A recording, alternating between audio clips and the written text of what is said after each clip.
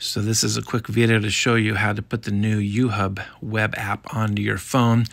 If you're around the school and you see a QR code in the hallway, you can use it there. Or if you go to the UHS Student Lounge, open up your uh, phone, and if you click on uh, UHub right here, you'll see a QR code, and you can click on that, and that'll take you to um, the new uh, UHub app you want to store this on your phone, so you'll click the little box with the arrow down in the bottom uh, bottom middle, and then you'll scroll down, and you're going to want to click the Add to Home Screen right here, Add to Home Screen, and you can name it whatever you want. It's already called UHub if you'd like, so you click Add, and that'll put um, put it right there on your phone.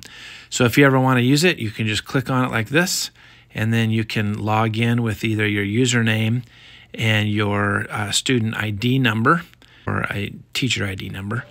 Or you can just click on the uh, UHub button right here in the center.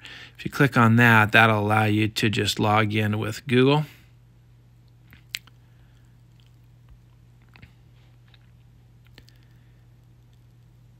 And you're in.